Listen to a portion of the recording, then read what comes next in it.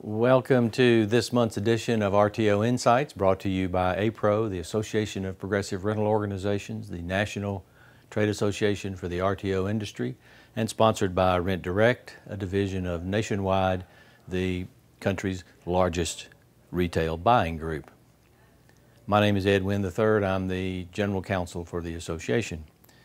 This month I want to talk about some of the features and benefits of the RTO transaction, specifically reinstatement rights. Stop. Consumer reinstatement rights are really unique in the consumer protection world. They only exist in RTO transactions. How they came to exist is an interesting story that began when the industry was negotiating with the Department of Consumer Affairs in South Carolina back in 1983, trying to get satisfactory rent to own legislation enacted in that state and to prevent the department from putting the RTO industry out of business in that state. We went round and round with the Department of Consumer Affairs negotiators over whether or not to include RTO legislation in the Uniform Consumer Credit Protection Act, South Carolina is one of the UCCC states, one of the 10 in the country, and the negotiators on the other side and RTO critics insisted that the RTO uh, rules be put into the South Carolina version of the UCCC. And we finally agreed to do that also. Then the argument came up that customers, if they are going to be in rent-own transactions and they pay for 77 weeks and then fail to make the 78th payment, the company is legally entitled to recover that property. The customer is left with nothing, and the company is free then to re-rent the merchandise. That was a real sticking point with the Department of Consumer Affairs. They, of course, wanted to give customers equity. We, of course, said with no obligation there can be no equity. And what we finally settled on was the notion of reinstatement rights, that if the customer would, within a fairly short period of time, give us back our rental property, we would then give the customer an extended period of time to get caught up on his payments and continue with the rental agreement. That's the essence of how reinstatement rights work.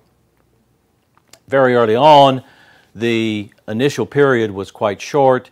It was two days. The customer had to give the property back within two days if he paid if he made weekly payments. He had to give the property back within five days if he made monthly payments, and then he got 21 days from the date of return to reinstate by getting caught up with all of his payments. In all of the state rent-to-own statutes, the initial reinstatement period is always fairly short.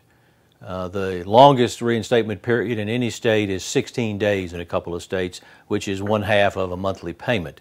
And that's the time period during which the customer can either get caught up on his payments or return the property and get extra time. Our argument in favor of reinstatement was that that's an income producing asset and unless customers are paying a rent for that asset, it's sitting idle and companies uh, are losing money and eventually would have to go out of business. So we've got to get the property back fairly quickly and have the opportunity to rent that property to other people while this customer is getting back on his feet.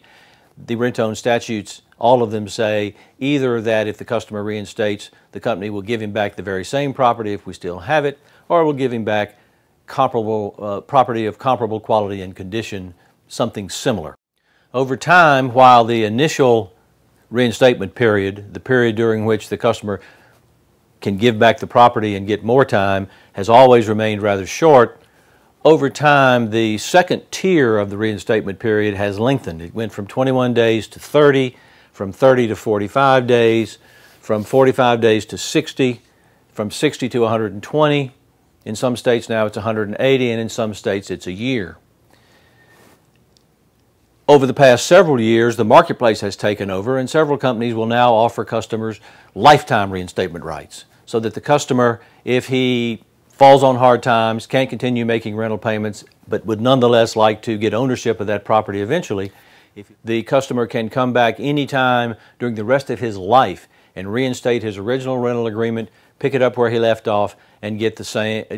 He may not be able to get the same property uh, after a number of years. That property may no longer exist, but he'll get comparable property uh, in good condition that suits him and be able to finish out his agreement. For example, if a customer has paid, say, 12 months on a big screen and has to give the property back, and the original agreement was for 18 months, the customer can come back in and the company will provide him with comparable a comparable big screen TV with six months left on it. He pays those six months out and he owns that TV. That's that's that's the essence of reinstatement, and it is a it is a very effective marketing tool that is underutilized in the industry today.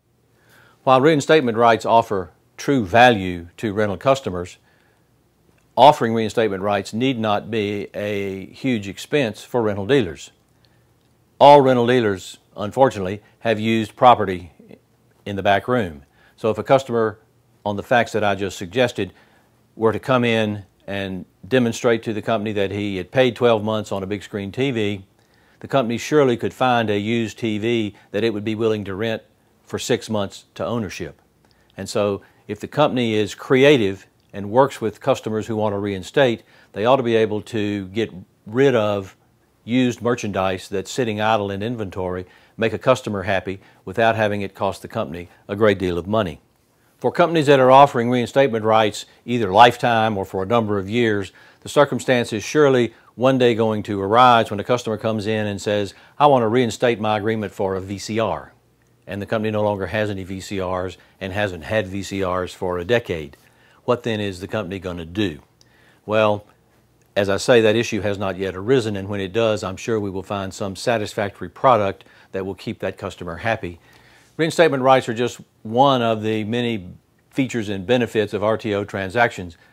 It is my hope that you are fully explaining all of those benefits and features and that customers understand uh, reinstatement rights and how they work to their benefit. Always remember to treat your customers like royalty. They deserve it. Until the next episode, my name is Ed Winn III, APRO General Counsel.